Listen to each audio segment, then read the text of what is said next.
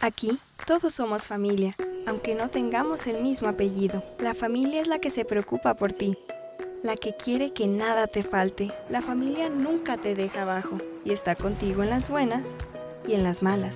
Aunque a veces hay problemas, la familia siempre sale adelante si se mantiene unida. Por eso en Movimiento Ciudadano me siento como en casa. Aquí está mi familia. Movimiento Ciudadano.